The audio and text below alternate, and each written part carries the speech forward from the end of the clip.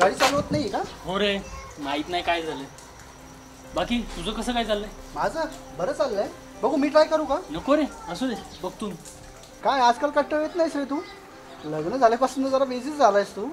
बायको सोडत नाही वाटतं तुला आजकाल. तसं नाही रे जबाबदाऱ्या वाढल्यात आता. एवढ्याशा पगारात भागवायचं म्हणजे नाकी नव्हतं त्यात आजारपण सणवार. हम्म, माधुरीनंतर जॉब करेल असं वाटलं होतं. पण घरचे नको बोलले. वाटलं होतं ती माझं ओझं हलकं करेल.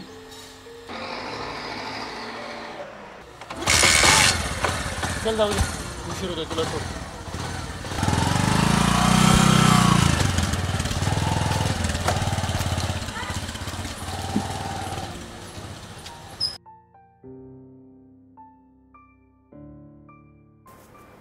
वाढत्या जबाबदाऱ्या आणि अपेक्षा असताना त्यात संतुलन साधणे कठीण असू शकते.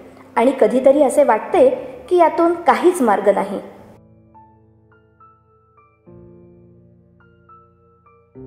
तुमच्या जोडीदारामध्ये तुमची ताकद शोधा.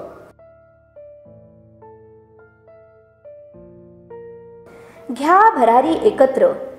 योग्य ते नियोजन करून व आपल्या कुटुंबाला एकत्र घेऊन आपल्या स्वप्नांची पूर्तता करा.